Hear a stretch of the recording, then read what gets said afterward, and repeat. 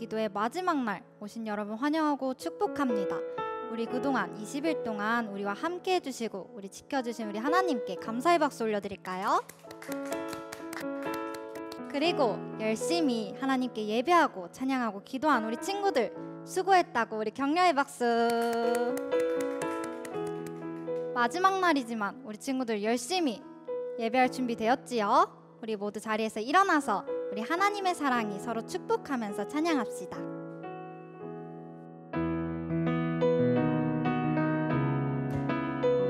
하나님의 사랑이 우리 두 손 앞으로 내밀고 우리 같이 축복할까요? 하나님의 사랑이 당신의 삶 가운데 가득하기를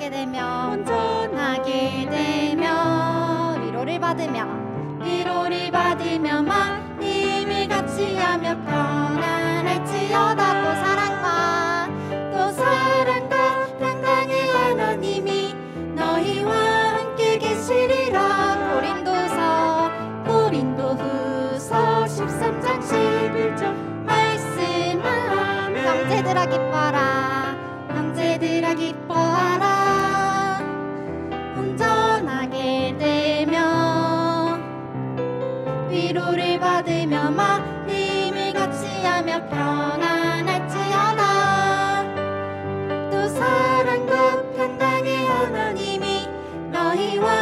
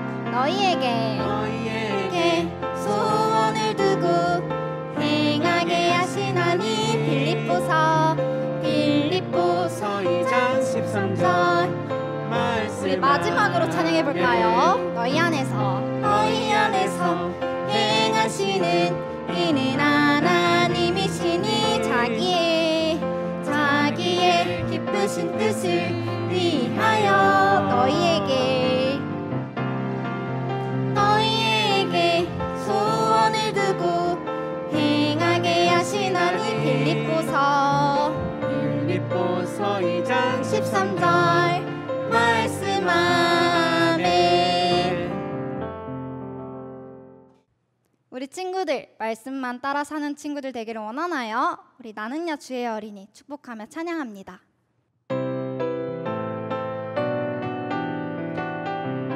나는야 주의 어린이. 나는야 주의 어린이.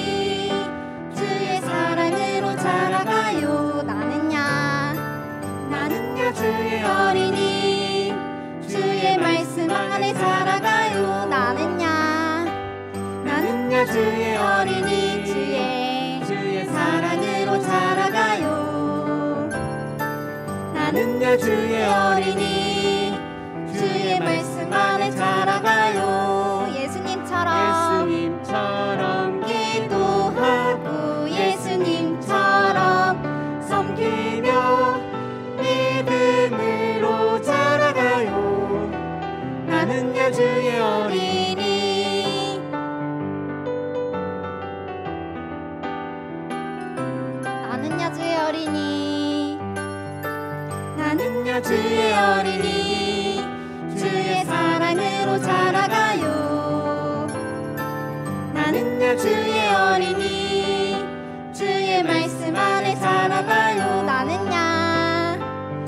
나는 나 주의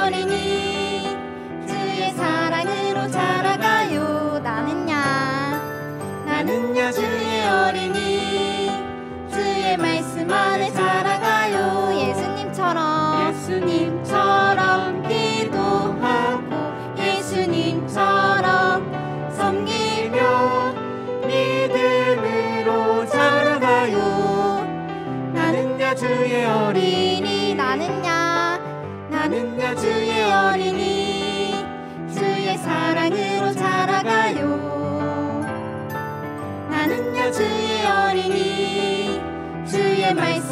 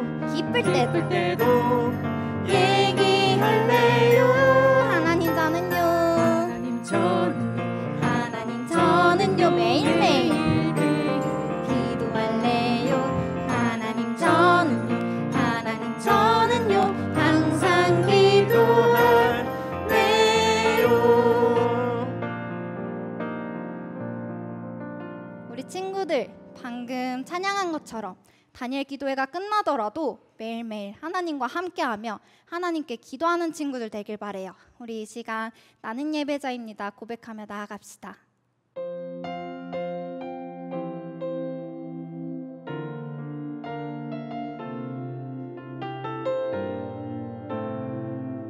우리 율동과 같이 고백해 볼까요? 나는 하나님을 나는 하나님을 예 배하는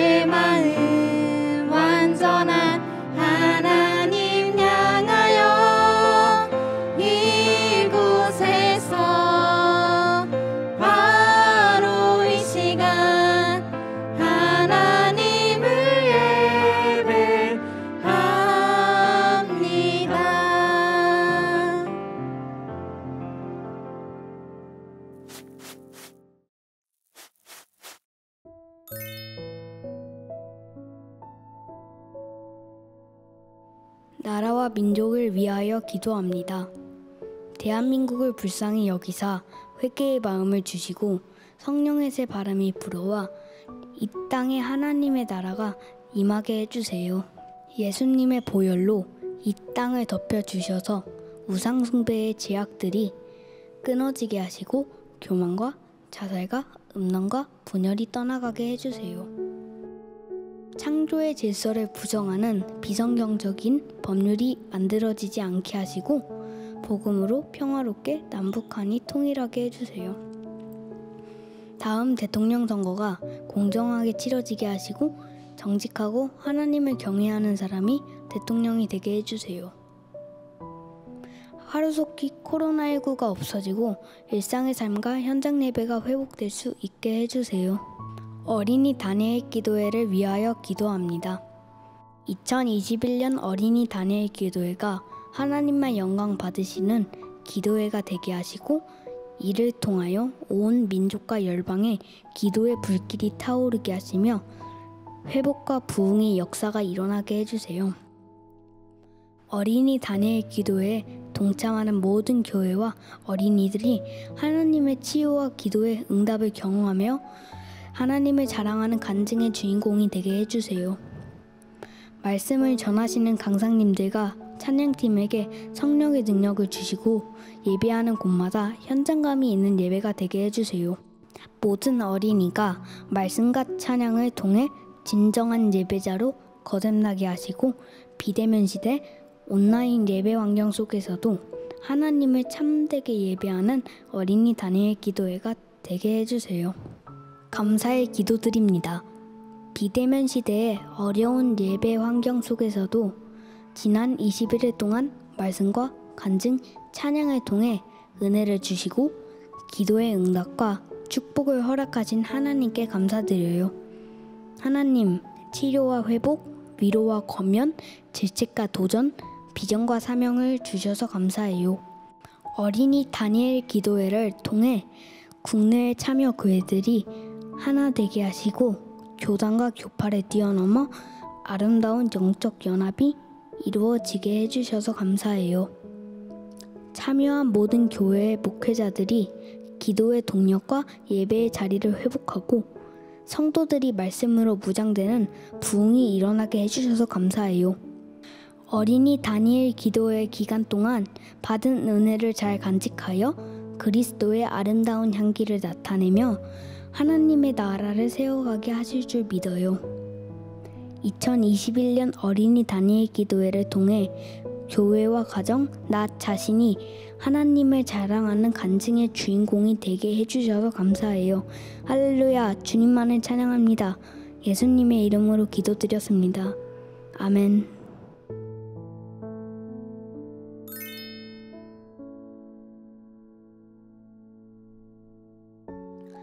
하나님의 말씀을 읽겠습니다. 베드로전서 2장 7절에서 10절 말씀. 그러므로 믿는 너희에게는 보배이나 믿지 아니하는 자에게는 건축자들이 버린 그 돌이 모퉁이의 머리돌이 되고 또한 부딪히는 돌과 걸려 넘어지게 하는 바위가 되었다 하였느니라. 그들이 말씀을 순종하지 아니함으로 넘어지나니 이는 그들이 이렇게 정하신 것이라.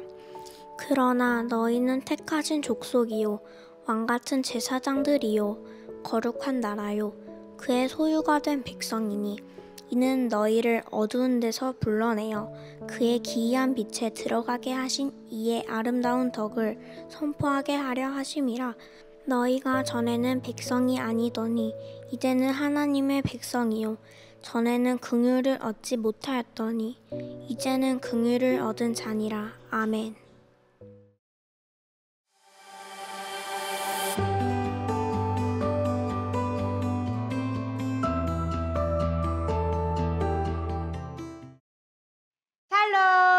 어린이 다니엘 기도회 마지막 날 21일차 예배 온 우리 친구들을 모두 모두 환영해요.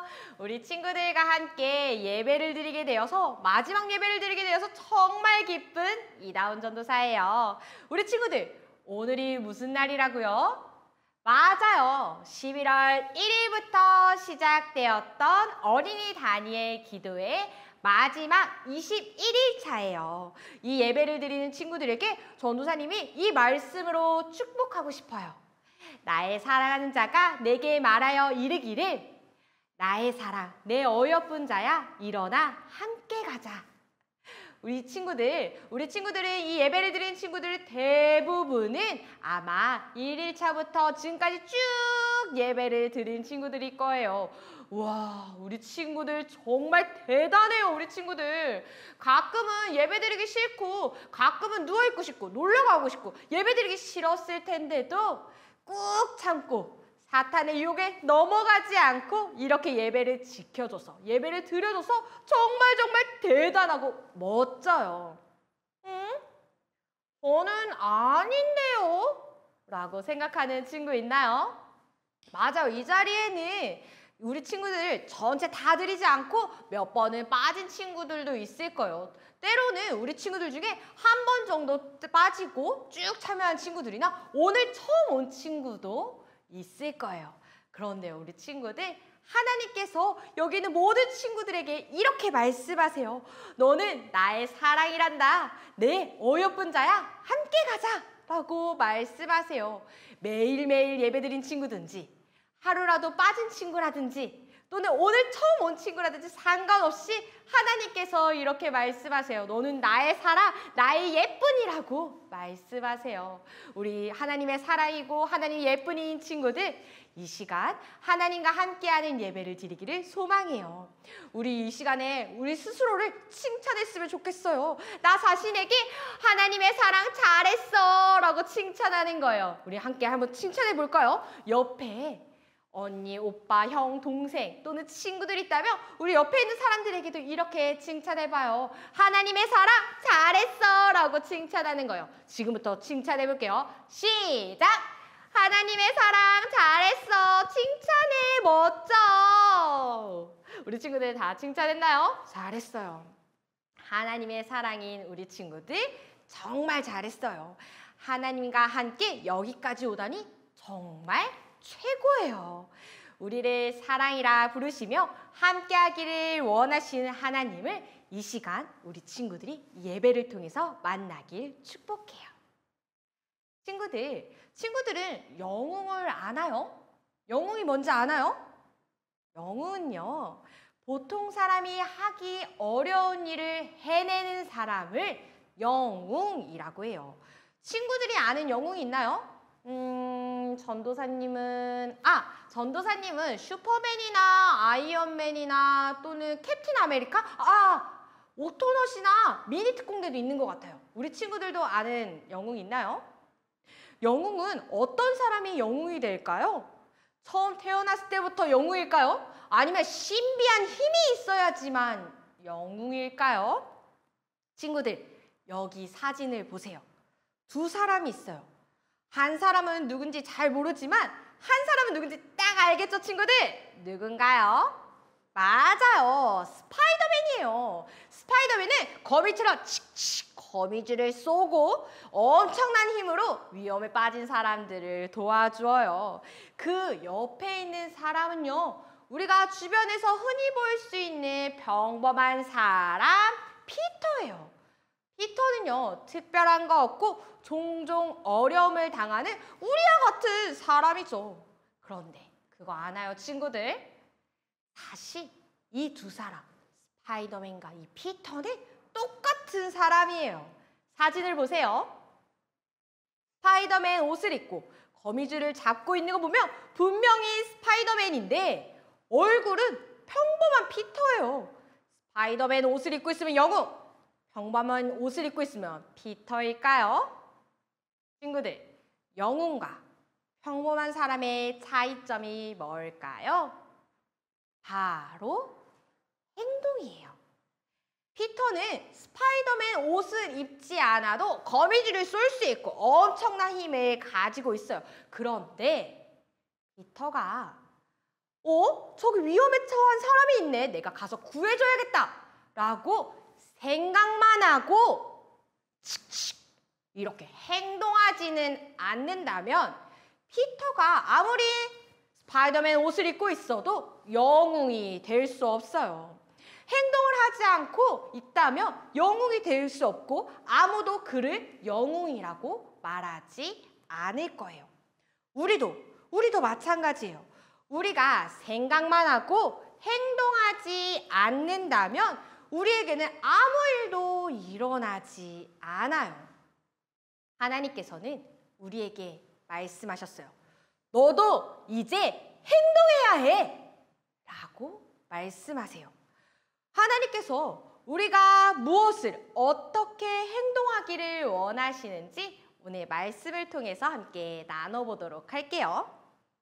친구들 오늘 우리가 함께 읽었던 말씀은 베드로전서라는 성경이에요. 베드로가 교회에게 보낸 편지예요. 이 편지를 받은 사람은 우리와 같이 예수님을 믿는 사람이었어요. 예수님을 믿는 사람들이었지만 그들은 주변의 사람들에게 괴롭힘을 당하고 있었어요. 믿지 않은 사람들은 예수님 믿는 사람들 그 교회를 향해서 피웃으면서 안 좋은 말을 했어요. 교회를 보고 나쁜 사람들이라며 비웃고 괴롭히기도 했어요. 만약 우리가 주변 사람들에게 예수님을 믿는다는 이유 하나만으로 이렇게 괴롭힘을 당한다면 기분이 어떨까요? 전우사님은 진짜 화가 날 것 같아요. 그래서 막 소리 지르면서 싸울지도 몰라요. 이렇게 전도사님처럼 친구들이 이런 마음인가요? 베드로의 편지를 받은 그 사람들도 마찬가지였을 거예요. 기분 나쁜 정도가 아니라 이들은 밥을 먹지도 일을 못할 정도로 괴롭힘을 당했어요. 때로는 아휴 예수님 안 믿을래 라고 사탄의 유혹에 흔들리기도 했어요. 이렇게 예수님을 믿는다는 이유로 사람들에게 괴롭힘을 당하고 있는 교회에게 사람들에게 베드로는 어떻게 말했을까요? 이렇게 편지를 썼어요. 여러분, 여러분이 어떤 사람인지 아나요? 여러분은 바로 하나님의 백성입니다. 예전에는 하나님의 백성도 아니었고 하나님의 은혜를 받지도 못했지만 이제는 하나님의 은혜를 받는 하나님의 백성입니다. 라고 말했어요. 베드로가 뭐라고 말했다고요? 힘들어하는 그 사람들에게 뭐라고 말했다고요? 너희는 하나님의 백성이라고 말했어요. 이전엔 아니었을지 몰라도 지금은 누가 뭐라 하여도 하나님의 백성이며 하나님의 힘, 하나님의 선물, 하나님의 은혜를 누리는 사람이라고 말했어요. 맞아요. 교회는 그러니까 예수님을 믿는 모든 사람은 하나님의 백성이에요. 우리도 우리도 마찬가지예요. 친구들, 마음에 예수님이 있다면 우리에게 힘든 일이 있어도 가끔은 우리가 예수님을 깜빡하거나 예수님을 모른 체 하면서 내 멋대로 행동할 때가 있을지라도 우리는 하나님을 모신 이후에 바로 하나님의 백성이에요. 하나님은 하나님께서는 우리에게 이렇게 말씀하셨어요. 하나님의 백성인 우리에게 아름다운 덕을 선포하야 선포하라라고 말씀하셨어요. 우리에게 해야 할 것을 말씀하셨어요. 하나님, 저는 아직 하나님의 백성이 뭔지도 모르겠고, 저는 뭘 해야 될지도 모르겠어요. 그게 뭐예요? 라고 생각하는 친구들 있나요? 그렇다면 함께 우리를 하나님의 백성으로 변화시키신 분에 대해서 알아보면서 우리가 어떻게 해야 되는지, 무엇을 해야 하는지 함께 살펴볼게요. 방금 전에 베드로가 누구에게 말했나요? 맞아요. 예수님을 믿는 교회, 하나님의 백성들에게 이야기했어요. 예수님을 믿는 사람에게 하나님의 백성이라 말했어요. 친구들, 예수님은 어떤 분인가요? 우리가 함께 읽은 말씀에서 이렇게 말하고 있어요. 너희를 어두운 데에서 불러내어 그의 기이한 밑에 들어가게 하신 이라고 말하고 있어요. 이게 누구시냐고요? 바로 예수님이에요. 베드로는 그냥 짧게 예수님이라고 말해도 되는데 왜 이렇게 길게 얘기했을까요? 너희를 어두운 데에서 하나님의 기이한 빛에 들어갈 수 있도록 해주신 분이 바로 하나님이라고 말하는데 그 어두운 것이 무엇이냐? 그것이 바로 죄예요. 죄는 하나님이 기뻐하지 않는 뭐죠? 맞아요. 생각, 말, 행동이에요. 우리는 이렇게 하나님 앞에서 죄를 짓고는 해요. 하나님이 원하지 않는 생각, 하나님께서 기뻐하지 않는 말, 하나님의 말씀에 순종하지 않는 행동을 하곤 해요. 우리는 이렇게 죄라는 어둠에 빠져서 하나님께 가까이 갈 수가 없어요. 그런 우리를 하나님께서는 반드시 벌하셔야만 했어요. 왜냐고요? 하나님께서는 거룩한 분. 그러니까 죄가 없으시고 깨끗하신 분이시기 때문이에요. 그런데 하나님께서는 우리를 사랑하셔서 한 분을 보내주셨어요. 우리에게 귀한 빛으로 들어갈 수 있도록 한 방법을 찾아내셨어요. 누구일까요? 우리 친구들 쑥스러워도 이 순간만큼 정확하게 말해주세요. 우리 친구들의 목소리로 누구일까요? 우리를 귀한 빛으로 하나님께로 나아갈 수 있도록 하신 분 누구일까요? 맞아요. 예수님이에요. 영접하는 자, 곧 그 이름을 믿는 자들에게는 하나님의 자녀가 되는 권세를 주셨으니 영접한 자, 곧 하나님, 예수님의 이름을 믿는 자들에게는 하나님의 자녀, 하나님의 백성이 되는 권세를 주셨다라고 예수님께서 말씀하셨어요. 하나님께서는 우리를 우리가 예수님을 믿음으로 죄에서 구해 주셨어요. 어두운 데서 하나님의 빛으로 들어가게 해 주셨어요. 하나님의 자녀, 하나님의 백성이 되어 하나님의 크신 힘을 누릴 수 있게 되었어요. 우리를 구원하신 하나님, 예수님, 우리를 하나님의 백성이 되게 하신 예수님께서 우리에게, 우리에게, 너희에게 원하시는 것이 있어요. 우리가 함께 읽은 구절의 말씀을 우리 친구들과 전도사님이 읽어볼 거예요. 우리 친구들 읽기 전에 우리 친구들이 이 성경책을 먼저 집에 있다면 한번 펴보세요. 지금 자리에 있다면 성경책을 펴서 전도사님이 아까 말했어요. 하나님께서 우리에게 원하시는 것이 있다라고 말했어요. 곰곰이 생각하면서 찾아보세요. 만약에 성경책이 없다면 우리 친구들 떠올려 보세요. 전사님이 아까 뭐라고 했지? 뭘 해야 한다고 했었는데? 라고 곰곰이 생각해 보세요. 너희는 하나님의 백성이고 우리가 믿는 예수님은 우리를 구원하시며 은혜를 주시는 분이시야. 이 사실을 잊지 말고 우리가 꼭 해야 하는 것이 있어. 라고 아까 전사님 이야기했어요. 그것이 무엇일까요? 베드로도 강조했어요. 그것이 무엇일까요? 찾았나요? 전사님 정답 알려줄게요. 정답은 아름다운 덕을 선포하라 입니다. 우리 친구들 아름다운 덕에다가 성경책이 있다면 밑줄 한번 그어볼까요? 연필로 색칠해 볼까요? 친구들 아름다운 덕이 뭘까요? 덕? 덕? 덕이 뭐지? 덕 착한 일 하는 건가? 아니요. 여기서 아름다운 덕은 바로 복음을 말해요. 죄를 지은 사람을 위해 십자가를 지셔 지시고 돌아가신 후에 3일 만에 예수님께서 살아나셨어요. 그 예수님을 믿고 하나님의 자녀, 하나님의 백성이 되는 그 사실 그것이 바로 복음이에요. 베드로는 말해요. 복음을 선포하세요. 복음을 입으로 말하세요. 복음을 널리 사람들에게 전하세요. 라고 교회에게 편지를 썼어요. 예수님을 믿는 것 때문에 괴롭힘을 당하는 사람들에게 베드로는 오히려 예수님을 전하라고 아름다운 덕을 선포하라고 이야기해요. 왜일까요? 복음 전했다가 오히려 더 괴롭힘 당하고 힘들어지지 않을까요? 이것이 예수님을 믿는 사람에게 주신 하나님의 뜻이기 때문이에요. 예수님을 통해 죄에서 구해주시고 어두운 데 있다가 하나님의 백성, 하나님의 빛으로 들어가게 하신 이에 우리는 달라졌어요. 예수를 믿지 않은 사람에게는 예수님에 걸려 넘어지는 돌이지만 예수를 믿는 우리에게는 예수님은 보배로운 돌이기 때문이에요.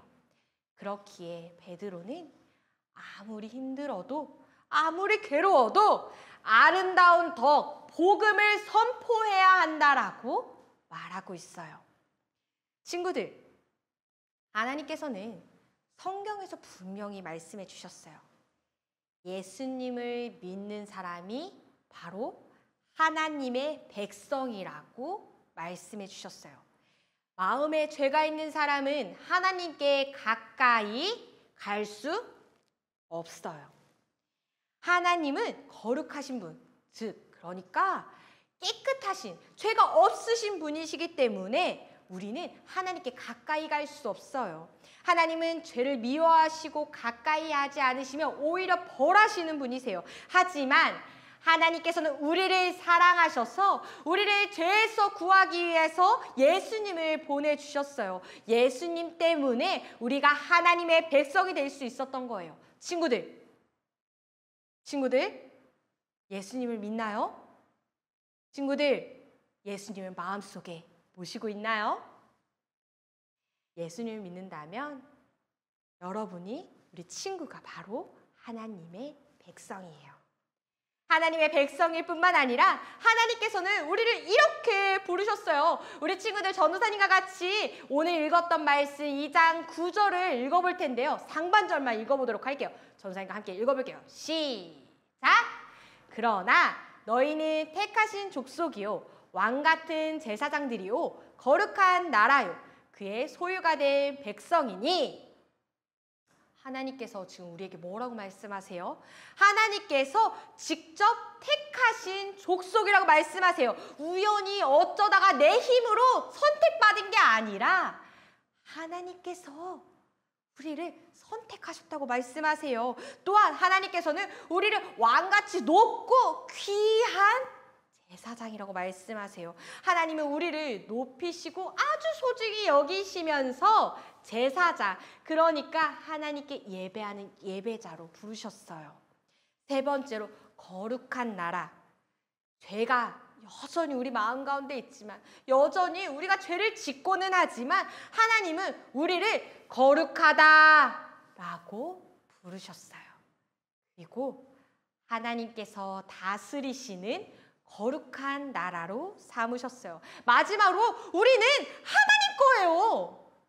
우리는 다른 누구와도 비교할 수 없이 아주 멋지신, 위대하신, 그리고 우리를 사랑하시는 하나님 거예요.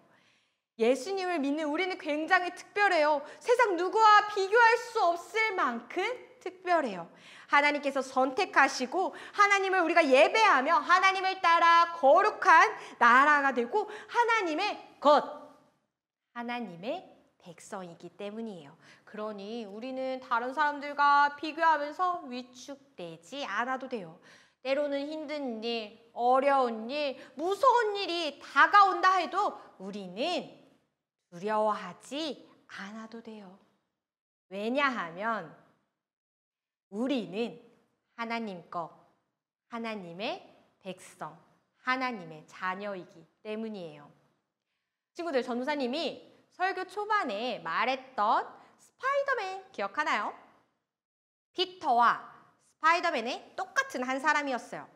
그런데 만약 피터가 자신이 스파이더맨인 걸 칙칙 이렇게 거미줄을 쏠 수 있고 힘이 세다는 걸 깜빡 잊어버렸다면 어떻게 될까요?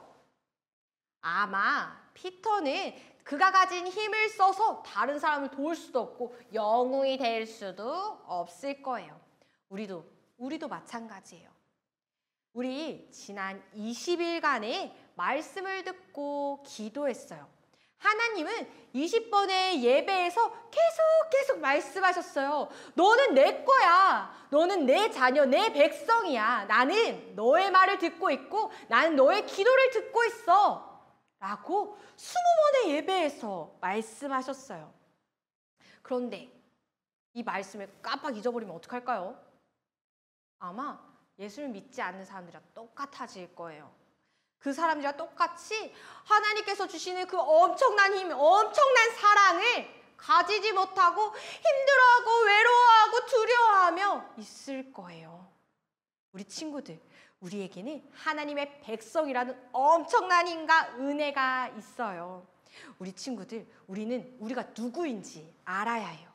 예수님을 마음속에 모셨다면 누구라고요? 맞아요. 하나님의 백성이에요. 전도사님을 따라서 외쳐보세요. 나는, 어, 다시 한번. 나는 하나님의 백성. 잘했어요. 우리 친구들, 이 사실을 반드시 기억해야 돼요. 여러분 하나님의 백성이에요. 하나님께서 선택하셔서 이 자리, 이 예배하는 자리, 말씀을 듣는 자리로 부르시고 어린이 다니엘 기도회를 통하여서 하나님의 백성으로서 기도의 힘이 얼마나 대단한지, 얼마나 큰지를 보여주셨어요. 우리 친구들 전도사니까 약속해요. 하나님 앞에서 약속해요. 우리가 하나님의 백성임을 잊지 않기로 약속. 좋아요, 우리 친구들. 친구들, 하나님의 백성인 우리가 해야 할 일이 있다고 아까 이야기했죠. 아란, 아름다운 덕을 선포하는 것, 그러니까 복음을 전하는 것이에요. 예수님께서도 명령하셨어요. 땅 끝까지 이르러 내 증인이 되리라. 증인이라는 것은 예수님이 진짜라는 것을 말하는 사람이에요. 예수님께서는 이렇게 우리를 죄에서 구해주시고 하나님의 백성을 특별하게 만드시고 이제는 우리가 예수님을 전하라고 말씀하세요. 우리는 이 명령을 지켜야 돼요. 우리에게 주신 특별한 미션, 아주 중요한 미션이기 때문이에요. 친구들, 복음을 어떻게 전할 수 있을까요? 간단하게는 이렇게 전할 수 있어요. 예수님 믿으세요. 이렇게 한마디로 전할 수 있어요. 아주 쉽죠. 전사님 따라 해볼까요? 예수님 믿으세요. 어, 잘했어요. 이렇게 말하는 것은 어렵지 않아요. 아주 간단한 말이지만 하나님께서는 하나님의 힘을 통하여서 이 간단한 한마디로 사람들이 예수님을 믿을 수 있도록 도와주세요. 그러나 때때로 이 말로는 부족할 때가 있어요. 에이 무슨 예수야 다 가짜야 교회는 나쁘다고 이렇게 예수님의 말씀을 예수님을 거부하는 사람들이 있어요. 그럴 땐 어떻게 해야 될까요? 에이 안 듣는다니까 포기 이렇게 해야 될까요? 전사님 얘기 하나 할게요. 전사님이 어렸을 때 친구들에게 복음을 전한 적 있어요. 전사님 몇 살이면요? 하나, 둘, 셋, 넷, 다섯, 여섯! 여섯. 여섯 살 때 어린이집 유치원 친구에게 친구야 같이 예수님 믿자 해서 같이 교회를 다닌 적도 있어요. 초등학교 다닐 때도 마찬가지예요. 초등학교 다닐 때에도 친구들에게 종종 예수님을 마음에 모셔야 된대. 같이 교회 가자. 이렇게 말하곤 했어요. 그런데 어느 날부터 이런 말을 하는 게 무서웠어요. 왜냐하면 친구한테 이렇게 말하면 아 싫어. 이렇게 말하거나 교회 가자고 해도 주일에 나타나지 않을 때도 있어요. 그리고 전사님이 사랑하는 아빠가 나는 교회 안 간다. 라고 말씀하실 때가 있었어요. 전사님 마음에는 진짜 진짜 속상했어요. 뿐만 아니라 다른 사람들한테 거절당하니까 두려움까지 생기게 되었어요. 그래서 전사님 그 뒤로 예수님 믿어야 돼. 교회 가자. 이런 말을 하지 않았어요. 그렇게 시간이 흐르고 나서 어느 날 선생님 마음에 이상한 마음이 꼬물꼬물 올라왔어요. 어떤 마음이냐면 친구 혜원이에게 교회 같이 가자고 예수님 믿자고 복음을 전하고 싶은 마음이 생기는 거예요. 그래서 전사님이 안 돼! 안 돼! 라고 했는데 전사님이 그래도 전했어요. 어떻게 전했냐면 혜원아 주일에 교회 놀러 가지 않을래? 라고 말만 했어요. 그랬더니 혜원이가 뭐라 그랬는 줄 알아요? 혜원이가 이렇게 말했어요. 그래 좋아. 나 사실은 궁금했어. 네가 교회 가는 거 되게 좋아하고 매일매일 행복해했잖아. 그래서 나도 사실 교회가 어떤 데인지 예수님이 누군지 궁금했어 라고 말했어요. 이 친구는 전사님의 평소 행동을 보고 예수님을 궁금해하고 있었던 거예요. 복음을 전하는 것에는 방법들이 여러 가지가 있어요. 그 중에는 간단하게 예수님 믿으세요도 있지만 아까 전사님 이야기한 것처럼 우리의 행동으로도 예수님을 전할 수 있어요. 우리는 20일에 세 가지를 놓고 기도했어요. 하나님께 감사하고 하나님 앞에서 죄를 고백하고 하나님께 구하는 기도를 했어요. 이제는 그 기도로 그만하는 것이 아니라 우리의 행동으로 보여줘야 돼요. 기도만 아니라 나의 모습으로 하나님께 감사하는 거예요. 나에게 주신 것에 하나님 감사합니다 하고 소중히 여기고 하나님 앞에서 죄를 지었다면 이제 죄를 짓지 않도록 노력하는 거예요. 하나님 앞에서 내가 거짓말했다면 거짓말하지 않고 친구를 미워했다면 사랑하도록 노력하는 거예요. 그리고 뿐만 아니라 하나님을 완전히 의지해야 해요. 하나님만이 내가 원하는 걸 들어주실 수 있어. 하나님은 분명히 나를 지켜주실 거야. 하나님께서는 나의 필요한 것을 채워주실 거야. 라고 하나님은 나의 기도를 들려주실 거야. 하고 불안해하지 않고 용감하게 살아가는 거예요. 우리가 이런 행동을 보여줄 때 사람들은 우리를 통해서 예수님이 진짜 최고구나를 알게 되어요. 우리의 행동으로 복음을 전할 수 있어요.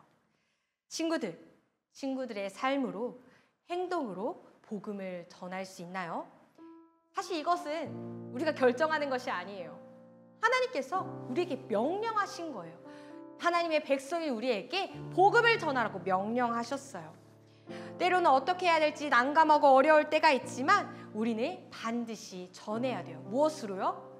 우리가 하나님의 백성인 것을 믿고 우리의 행동을 통하여서 변화된 행동, 예전에 어두운 데서 있었던 죄악 가운데 있었던 행동이 아니라 변화된 행동으로 예수님을 전하는 거예요. 이 말씀을 듣는 친구들에게 행동이 변화되는 역사가 있기를 소망해요. 우리 친구들 이 시간 함께 찬양할게요.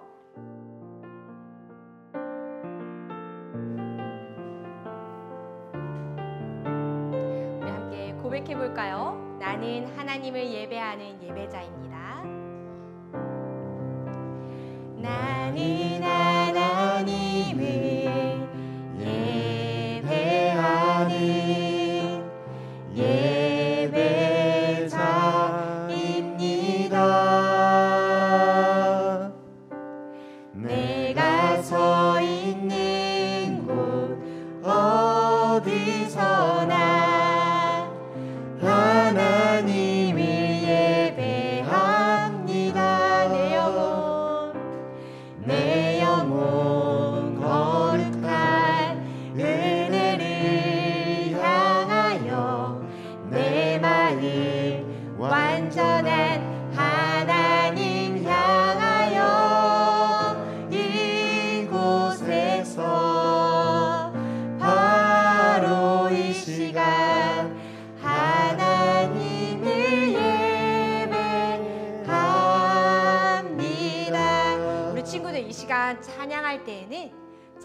찬양의 가사를 생각하면서 찬양할게요. 우리는 하나님의 백성이라고 했어요.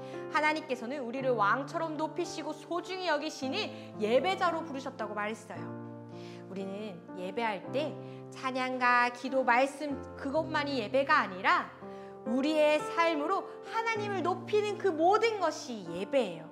우리의 행동으로, 우리의 삶으로 하나님을 예배하며 복음을 전하는 우리가 되기를 소망해요. 이 마음으로 한 번 더 고백해 볼게요. 나는 하나님을 나는 하나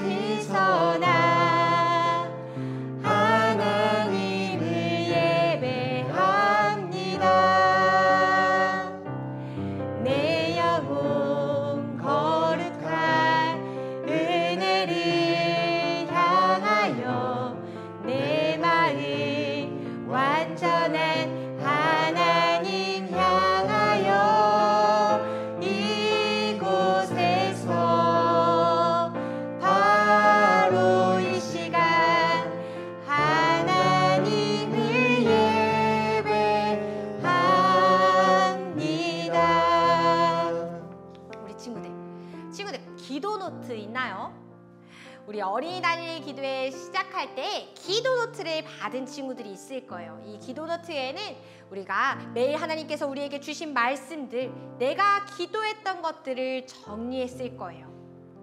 하나님께서는 우리를 특별히 여기세요. 우리에게 하나님의 백성이 되게 해주셔서 하나님의 은혜를 누릴 수 있게 해주셨어요. 그렇기에 우리는 하나님께 감사할 것이 아주 많아요. 이 시간 노트를 함께 살펴볼까요? 노트 열어보세요, 친구들. 노트 열어보세요. 내가 적은 감사의 내용을 살펴보세요. 만약에 노트가 없어서 적지 못했다면 우리 친구들 생각해보세요. 곰곰이 생각해보세요. 하나님께서 우리 이번 예배를 통하여서 내게 주신 은혜가 뭐였지? 하고 생각해보세요. 이 시간 하나님께 감사한 것을 말할 거예요. 크게 소리내지 않아도 돼요. 빠르게 많은 말을 하지 않아도 돼요. 천천히 하나씩 하나님께 고백할 거예요. 하나님 예배드리게 해주셔서 감사해요. 하나님 사랑해 주셔서 감사해요. 하나님 내 기도를 들어주셔서 감사해요. 하나님 친구들과 선생님과 가족들과 예배드리게 해주셔서 감사해요. 이렇게 말하는 거예요. 이렇게 감사를 고백하는 것이 바로 감사 기도예요. 이 시간 우리 하나님께 감사한 거열 가지 하나님 최고예라고 하나님을 높이는 것열 가지를 지금 한번 생각해 보세요. 선생님 시간 줄게요. 선생님 찬양하면서 우리 같이 기도할 건데 우리 친구들 우리 친구들 이열 가지를 차근차근 하나씩 기억을 떠올리면서 고백해 보는 거예요. 우리 친구들 지금부터 천천히 함께 기도해 볼까요? 우리 함께 감사 기도할게요. 하나님 감사합니다. 하나님 이 시간 우리가 예배 드릴 수 있도록 해주셔서 감사해요. 하나님 11월 1일부터 이렇게 예배 드릴 수 있도록 해주셔서 감사해요. 하나님, 하나님께서 예배, 하, 하나님을 믿는 엄마 아빠를 만나게 해주셔서 감사해요. 하나님, 코로나 때문에 예배 드릴 수 없었지만 하나님 이렇게 영상으로 예배 드릴 수 있게 해주셔서 감사해요. 하나님 이렇게 다니엘 기도해야 하는 동안 내 기도를 들어주셔서 감사해요. 내 기도를 들어주시는 하나님을 만나게 해주셔서 감사해요. 하나님, 내가 이렇게 친구들이랑 같이 찬양하며 기도할 수 있게 해주셔서 감사해요. 친구들이 있어서 감사해요. 선생님이 있어서 감사해요. 11월 1일부터 지금까지 코로나 안 걸리게 해주시고 가족들 지켜주셔서 감사해요. 하나님, 하나님을 만날 수 있게 해주셔서 감사해요. 내가 하나님 거여서 너무 감사해요. 하나님 나를 사랑해 주셔서 감사해요. 하나님은 나의 하나님은 나의 최고예요. 하나님은 나를 살리시는 분이세요. 하나님은 나를 기억해 주시는 분이세요. 하나님은 찬양받기에 너무 멋진 분이세요. 하나님의 기도를 들어주시는 분이세요. 하나님은 힘이 아주 강한 분이세요. 하나님의 은혜로운 분이세요. 하나님은 나를 사랑하시며 나를 지켜주시는 분이세요. 하나님은 그 어떤 누구보다도 대단한 분이세요. 하나님의 크신 팔과 평팔로 우리를 보호하시는 분이세요. 하나님의 최고예요. 하나님 대단해요. 하나님 멋져요. 하나님 내 마음에 와주셔서 감사해요. 하나님 이렇게 감사한 거 열 가지를 고백하게 해주셔서 감사해요. 하나님을 최고라고 말할 수 있게 해주셔서 감사해요. 하나님은 이렇게 최고라고 모시기 멋진 분이세요. 하나님 정말 감사해요. 이 시간 내 마음에 내 마음에서 함께하여 주셔서 감사의 마음을 꺼내 주셔서 감사해요. 하나님 내 마음을 변화시켜 주시는 하나님이 바로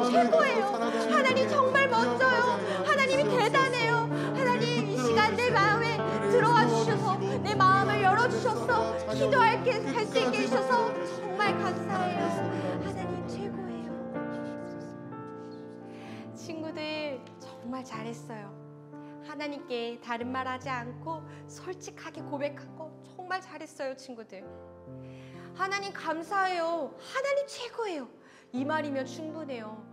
어른들처럼 말을 빨리 하거나 말을 길게 한다고 해서 하나님께서 들으시는 것이 아니에요. 솔직한 마음으로 고백할 때 하나님께서 기뻐 받으세요. 이 시간 우리 친구들 회개하는, 기도를 할 거예요. 오늘 들은 말씀을 생각하면서 기도할 거예요. 하나님 용서해 주세요. 가끔은 예수님 믿는 사람인 거 깜빡해요. 하나님의 백성인 거 소중하게 여기지 않았어요. 하나님을 깜빡 잊어버리고 행동하기도 해요. 하나님, 하나님 말씀에 순종하지 않고 제멋대로 하고 내 마음, 내 생각대로 할 때가 많았어요. 하나님 용서해 주세요. 이렇게 기도하는 거예요. 혹시나 우리 친구들 중에 다른 사람이 내 기도 소리, 내가 잘못했다고 고백하는 거 들을까봐 쑥스러워하는 친구 있나요? 전사님도 그래요. 사실 전사님도 회개 기도할 때 다른 사람이 내 목소리 들으면 어떠지? 어쩌지 하고 두려울 때가 있어요. 쑥스러울 때가 있어요. 이 시간 전우사님이 열심히 기도할 거예요. 전사님들이 큰 목소리로 기도할 거예요. 전사님들이 크게 기도할 테니까 우리 친구들은 이 큰 기도 소리를 들으면서 조그마하게라도 솔직하게 고백해 보세요. 하나님 용서해 주세요. 내가 이렇게 잘못했어요라고 고백하는 거예요. 이 시간 우리 친구들 우리가 하나님 말씀을 생각하면서 잘못한 것을 고백하며 주여 외치며 기도하도록 할게요. 주여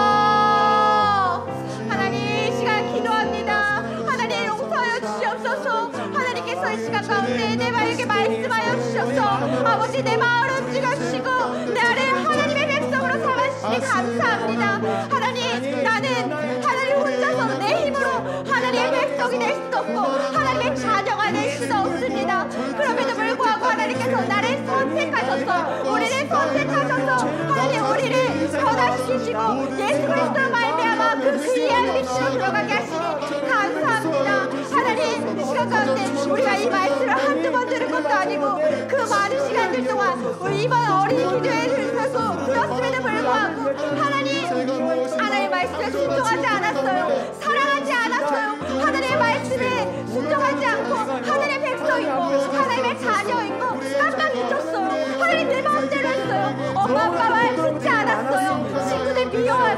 내 맘대로 내가 하고 싶은 거. 하나님보다 핸드폰이 더 소중하고 하나님보다 게임이 더 소중하고 하나님보다 다른 것을 더 소중히 여기며 심지어 하나님 내 자신을 소중히 여기지 않으며 내 맘대로 살았어요. 하나님 용서해 주세요. 하나님 이 시간 말씀해 주셔서 감사해요. 내 마음을 칩니다. 하나님 내 마음을 칩니다. 하나님 내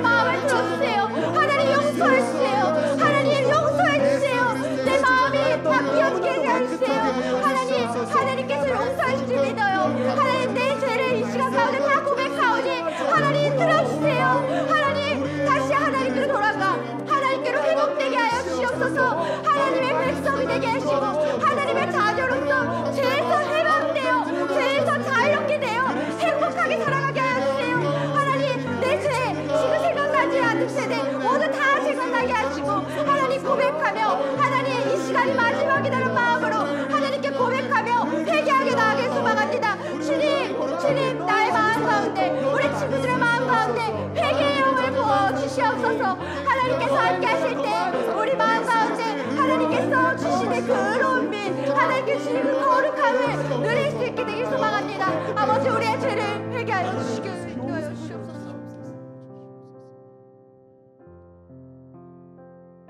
자신의 죄를 고, 솔직하게 고백한 친구들 정말 잘했어요. 이 시간 전도사님들과 함께 찬양하면서 고백할 거예요. 가사를 잘 보고 잘 듣고 생각하면서 함께 우리 불러봐요. 찬양해 볼까요? 이 세상을 사랑하는 동안에 이 세상을 살아가는 동안에 나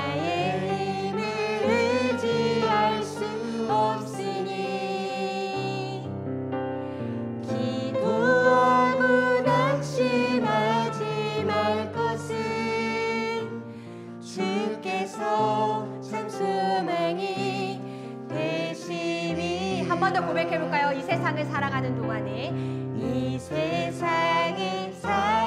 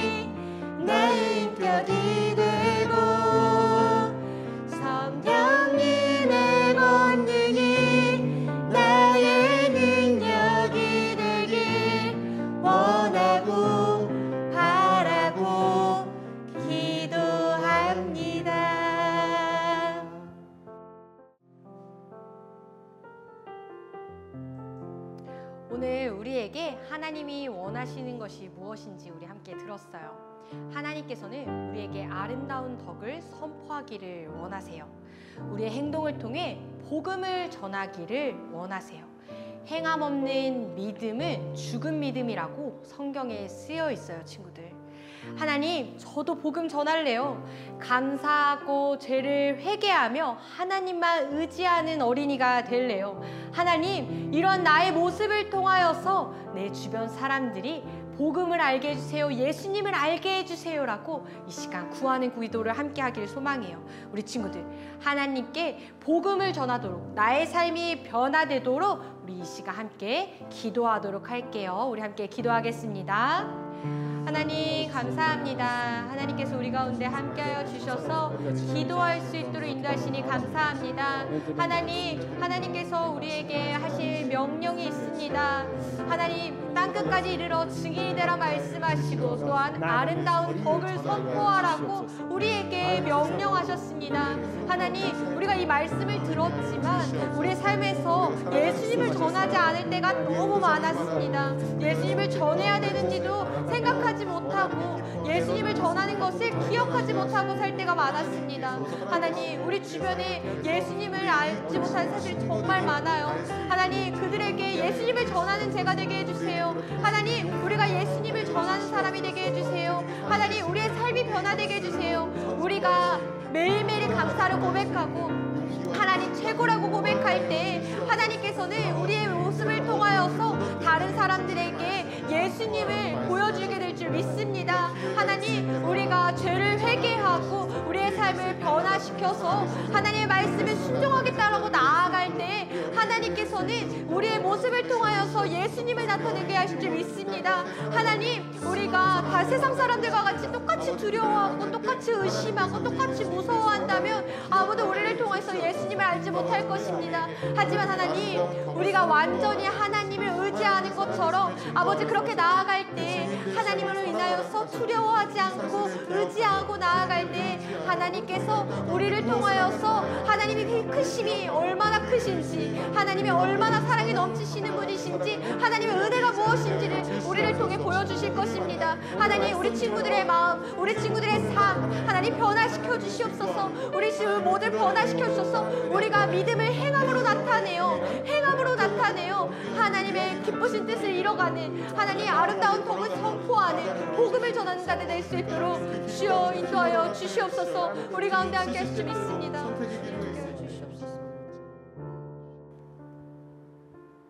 친구들 마지막으로 한 가지만 더 기도할게요. 친구들 기도 노트 맨 앞에 우리 친구들이 각자의 기도 제목을 적어 놨을 거예요. 우리 친구들, 친구들은 그 페이지에다가 거기다 무엇을 썼나요? 전도사님은 다 알지 못해요. 하지만 하나님께서는 알고 계세요. 그러나 하나님께서는 우리 친구들이 친구들의 입술로 고백하여 하나님께 기도하기를 원하세요. 우리 친구들이 변함없이 언제나 습관을 따라 하나님께 기도하며 구하기를 원하세요. 이 시간 하나님께 구하는 기도를 하기를 소망해요. 하나님, 내가 가지고 있는 이 기대, 기도 제목이 있어요. 하나님의 뜻에 맞을 때까지 나 기도할 거예요. 하나님, 내 기도를 들어주세요. 하나님, 내가 이게 필요해요. 하나님 도와주세요. 하나님, 이것이 나에게 하나님께 구하는 것들이에요. 라고 하나님 도와주세요. 라고 기도할 거예요. 우리 친구들 함께 각자의 기도 제목을 가지고 기도할게요. 우리 전도사님들과 전도사님은 함께 우리 친구들의 기도 제목이 이루어지도록 같이 기도해 줄 거예요. 우리 이 시간 주여 한번 외치고 각자의 기도 제목을 가지고 기도하겠습니다. 주여 하나님 감사 합니다. 하나님께서 함께하여 주셔서 우리 친구들이 이렇게 그의 긴 시간 동안 하나님께 기도하며 나아가게 하시니 감사합니다. 하나님 처음에는 한마디 기도하는 것도 어렵고 세 마디 기도하는 것도 어렵고 1분 기도하는 것도 3분 기도하는 것도 어려웠습니다.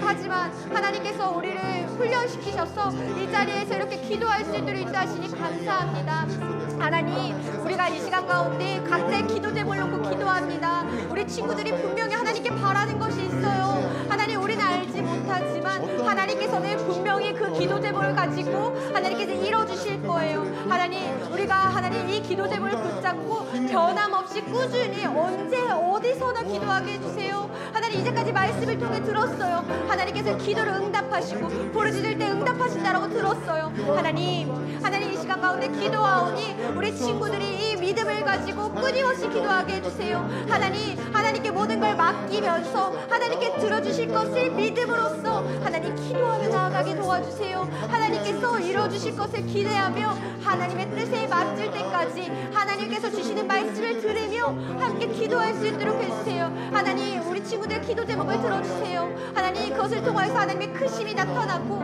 하나님께서 우리를 사랑하심을 나타내며 하나님 그것을 통하여서 하나님 인내도 배우게 하시고 하나님 그것을 통하여서 사랑도 배울 수 있게 하시고 그것을 통하여서 하나님 우리의 삶에 하나님께 의지하는 법을 배울 수 있도록 도와주시옵소서. 아버지 우리의 기도 제목을 하나님께 올려드립니다. 아버지 이 모든 기도 제목을 들으시고 하나님께서 기뻐 받아 주시옵소서.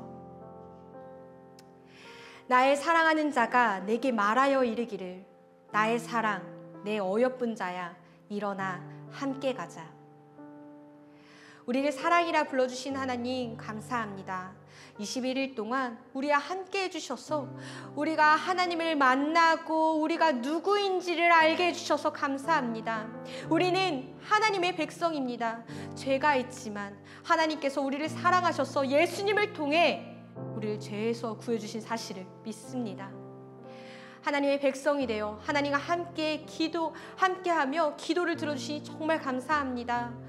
21일까지 우리의 기도를 기뻐 받아주실 줄 믿습니다. 하나님, 내일부터는 우리가 들은 말씀, 은혜를 기억하며 변화된 삶을 살고 싶습니다. 우리의 변화된 모습을 통해 예수님을 전하고 싶습니다. 하나님께 감사하며 모든 것을 소중히 여기는 우리가 되게 하여 주세요. 말씀을 기억하며 말씀대로 살아가는 우리가 되게 해주세요. 하나님을 의지하며 기도하고 용감하게 행동하는 우리가 되게 해주세요. 가끔은 사탄의 유혹에 흔들리고 죄를 짓는 실수를 할지, 할지라도 다시 하나님께 돌아와 하나님의 백성으로 멋지게 살아가는 우리가 되게 하여 주시옵소서. 우리를 통해 온 세상에 아름다운 덕이 선포되게 해 주세요. 우리를 통해 일하실 주님을 믿습니다. 예수님의 이름으로 기도드렸습니다. 아멘. 친구들 21일, 21일간 어린이 다니엘 기도에 참여해 주셔서 정말 고마워요. 친구들이 있었기 때문에 우리가 이렇게 함께 예배할 수 있었어요. 이 시간 우리 함께 감사의 박수를 나누려고 해요. 21일간 나 자신에게 어떤 유혹에도 열심히 예배드린 나 자신에게 칭찬하면서 박수하려고 해요. 참 잘했어 하면서 우리 박수 함께 해볼까요? 시작! 참 잘했어! 우! 잘했어! 잘했어! 잘했어요, 친구들! 우리가 이렇게 예배 드릴 수 있었던 것은 예배를 드릴 수 있도록 도와주신 부모님과 선생님이 계셨기 때문이에요. 우리 옆에 계시다면 아니면 찾아가서 부모님과 선생님께 감사합니다 라고 인사하면서 박수 함께 해보도록 할까요? 우리 큰 목소리 한번 해보자. 시작! 감사합니다! 감사합니다! 감사합니다!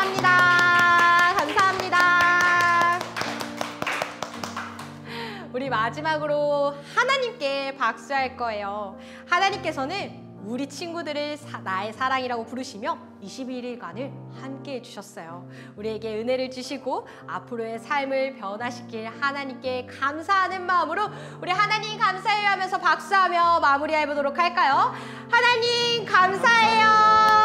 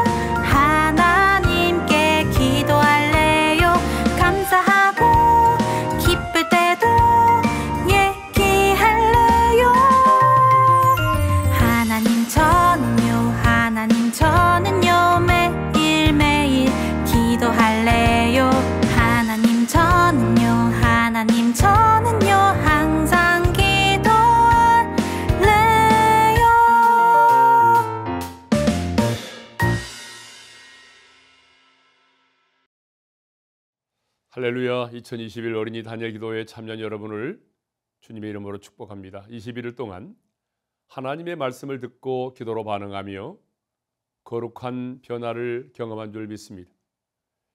어린이 단일 기도회는 마쳤지만 변화된 생활은 이제 오늘부터 시작입니다.